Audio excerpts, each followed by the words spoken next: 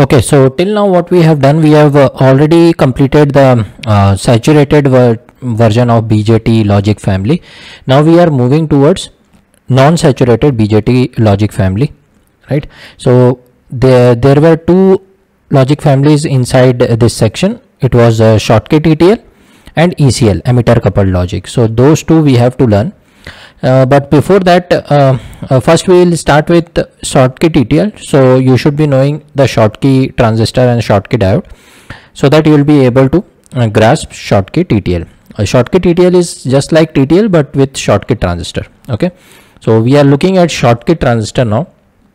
Here uh, first I am showing you the Schottky diode okay? What will be the parameter we will be using in Schottky transistor that is what I want to tell here I am not explaining the Schottky diode in detail or in device form because it is not required here. We will be looking at uh, from the digital perspective uh, that is what our motive is. So here Schottky diode is looks like this uh, a triangle with a S symbol attached to it. So this is P side this is N side uh, it looks like uh, similar to PN junction diode but uh, here you have a single line but here you have a S like structure represents short Schottky okay?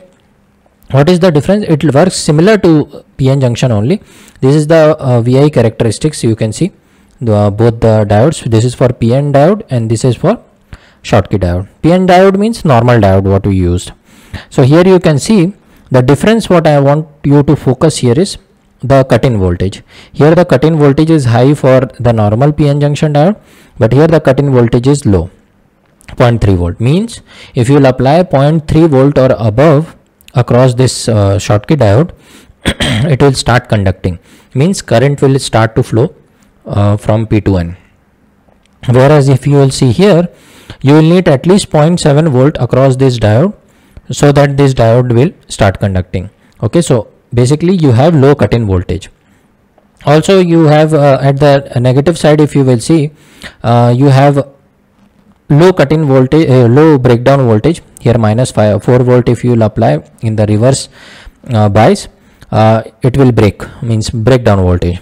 Okay breakdown voltage is also less here uh, whereas here if you will see it is minus 8 side means like magnitude wise i was saying my less. So if you will see this is minus 8 volt much longer in this direction. And you have minus 4 here. Also you have uh, uh, uh, here you can see you have more reverse leakage current. That is around minus 30 microampere. That is i'm just taking a, a, a, random value. Here also i'm taking a random value just to explain that this guy is having less cut-in voltage and this guy is having more leakage current uh, for example minus 30 microampere here you are having minus 10 microampere. So we are not using this negative side. We are only interested in this part that uh, it is it provides low cut-in voltage. And how we gonna use this diode to make our Schottky transistor? And that transistor will be used in Schottky TTL okay? Okay now let's look at the Schottky transistor. So this is the normal transistor. Here you can see you have seen it before so if you increase the value of IB your IC increases means the drop across resistance will increase. So VCC minus drop across this R will give you VCE right? This. So if you increase the IC uh, the drop will increase and hence you will get less VCE right? So as you increase the IB IB this this will happen happen and VCE will decrease decrease decrease. At some point of time it will decrease so that this um, this this this VC voltage will become lesser than VB and in that case your uh, this CB junction will be forward bias right? That's how saturation we achieve. For example you can see here VB will be uh, 0.7 volt. VBE is equal to VB right? Why? Because uh, this guy is usually connected to ground. We have seen that. So VBE becomes equal to VB only. So this reflects the difference between these two points B and E voltage and VB reflects the voltage with uh, this uh, point and ground okay? So that is 0.7 some some uh, diode I am taking a ra random number I am taking. 0.7 volt and VC will be around let's say you calculate in this active region is 1 volt right? So if you will calculate VCB that is VC minus VB is 0.3 volt. You can see uh, VC minus VB means this is a PN junction right? N is uh, connected to C and P is connected to B. Uh, and you are calculating VCB so means it is coming positive means it is reverse bias right? So this is forward this is reverse means it is in active region. Now if let's say your VC voltage is coming out to be uh, 0.5 volt right? You have increased the IB uh, so that IC was increased the drop increased hence VC becomes 0.5 volt. Then in this case you will calculate VC minus VB VC minus VB will come out to be minus 0.3 right? Sorry minus 0.2 so this will reflect uh, VCB means negative voltage it is coming means it is uh, forward bias now right? Because uh, uh n is uh, connected uh, means like VCB and uh, means reverse voltage it is getting minus 0.2 volt. Means it is forward bias right? So that's why it goes to saturation. So this is the way we check saturation right? In normal transistor. So that is the procedure. And mostly when it reaches in saturation your IC will uh, saturate. That's why we are calling it as saturation means more IB if you will put uh, IC will not increase. That is what happens in saturation. So this is the way you are, were already um, um, aware of I guess. Um, uh, it's sort of an analog thing so that's why I don't want to go into the detail. Now what we are doing here is with this transistor we are attaching our Schottky diode and this whole arrangement is being called as Schottky transistor. This is how you reflect it with an S okay?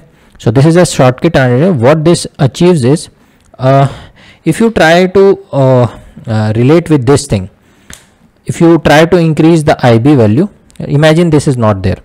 Uh, it is reverse bias. Uh, imagine it's an it's an open right now. You are trying to increase the IB value. IC is also increasing. And let's say your VC is decreasing just like here as well. Now it will decrease, decrease, decrease. It will go beyond uh, lesser than VB like just like here it go uh, went. Now what will happen? As soon as this this voltage VCE voltage will go lesser than this, it will start conducting. And if it will start conducting, it will maintain some cut in voltage whatever 0.3 0.2 volt across B and C so you can think whatever the value of VB will be, it will, VC will be 0.3 or 0.2 more than that and hence VC will be more than VB and it will always be reverse biased. Okay?